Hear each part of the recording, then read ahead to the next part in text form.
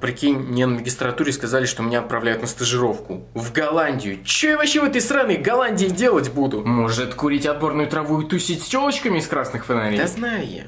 Просто повыебываться захотел. Поступай в магистратуру с международным приложением AMBA. 40 различных программ, стажировка за рубежом и участие в научных конференциях. А ты никуда не едешь весной? Еду в армию. Оу, жалко. Жалко, что ты необразованное быдло. Вся информация о международной магистратуре по ссылке в описании.